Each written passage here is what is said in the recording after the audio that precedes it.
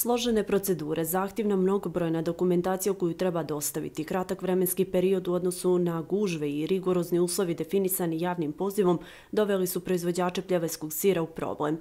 Nakon što je inspekcija sprovela proceduru provjere prostorija u kojima se proizvodi pljeveski sir, veliki broj proizvođača ne zadovoljava definisane kriterijume, što znači da će ostati bez ovogodišnje premije. Proizvođači su odlučili da problem riješe u ponedeljak blokadom saobraćaja na mostu na Tari, ali ipak nakon razgovora sa upravnim odborom Unije odustalo su od ovog poteza.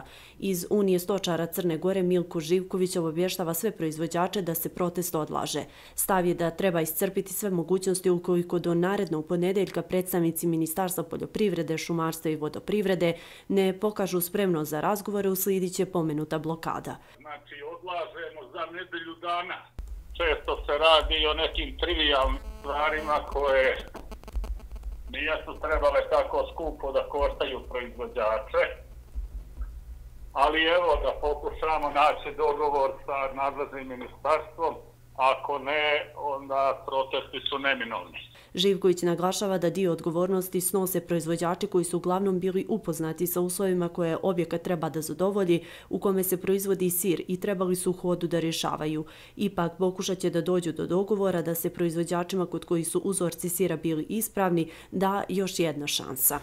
Jednostavno zaboravljamo da je pjevarski sir tradicionalni proizvod koji se vjekovima radio u drvenim kolibama zemljanog poda i da je to bio vrhunski kvalitet koji je mogao da traje do sljedeće sezone, znači čitavu godinu i sama ta činjenica govori, iako ga niko nije ispitivao, ali ta činjenica njegovog trajanja govori o njegovoj mikrobiološkoj ispravnosti. Prethodne godine inspekcije su bile tolerantnije, naglašava Živković i dodaje da u budućem periodu ni ministarstvo ne može biti tolerantno jer Evropska komisija traži stroga pravila koja se moraju poštovati. Pa vidite, ako uzmemo u obzir da smo imali javni ministarstva poljoprivrede i visina investicija do 10.000 eura, oni ljudi koji su imali objekat za njegovo opremanje, mislim da je to bilo sasvim dovoljno.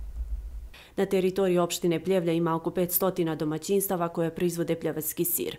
Upravni odbor Unije imao intenzivne pregovore sa ministarstvom zadnje dvije nedelje oko otkupne cijene jagnjadi. Dogovoreno je da minimalna otkupna cijena jagnjadi ne može biti manja od 3,70 eura.